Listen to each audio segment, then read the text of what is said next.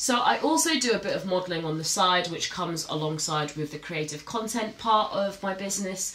Um, I've been doing modelling for a very long time, uh, since I was roughly in year eight. One of my friends, my great friends, um, was doing photography, and a lot of the time with her assignments, whenever she was looking for um, someone to fulfill the assignment, which was, for example, something levitating, she wouldn't get the the things that most people would think that would be levitating. For example, she would get me to go into a shop and just jump as many times as possible, and she'd take a picture, and then she'd use that as the levitating image. Now, um, she was really, really good at that, and she was very much outside the box, which was great for me because that meant that throughout the whole of high school, I had a big portfolio of a lot of images that we did together and a lot of shoots that we did together.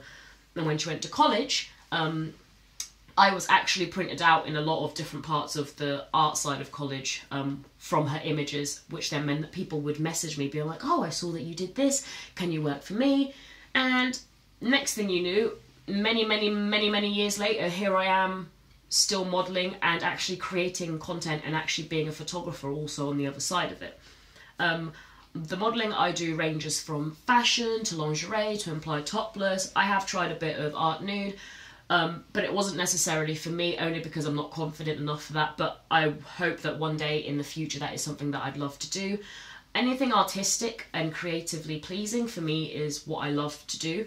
If I can see a storyline or I can see um, an emotion, an aura, then I always automatically be like, oh, I love that.